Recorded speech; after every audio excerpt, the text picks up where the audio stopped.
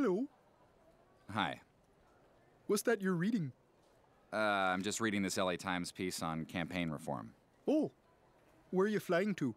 Uh, Africa? Oh, you live there? Yeah, I was just here for the holidays and now I'm heading back home.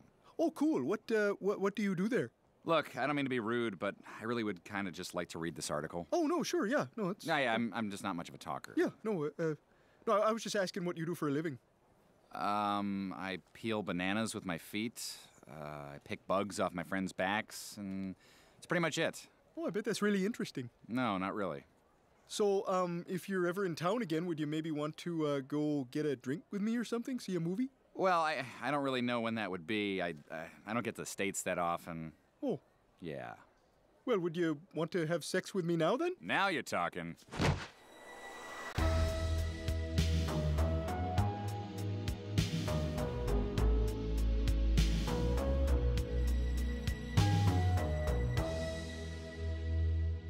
That was awesome. I know. I mean, really. You were so giving. Oh, well. So unselfish. You know? make it easy. Oh, I'm blushing. really? I don't see it. no, it's it's only on my balls. I blush with my balls. Oh. Wow. Yeah. Weird. Um. Hey, listen. There's there's something you should know. What's that? I have this disease that kind of makes your immune system sort of go away. Oh. Yeah, it's probably nothing, but I just thought I should tell you. Oh. Okay. Otherwise, I am clean as a whistle. Oh, great. Hey, thanks for not making me wear a condom. Oh, yeah, no problem. Want to go again? Let's pound it, brother.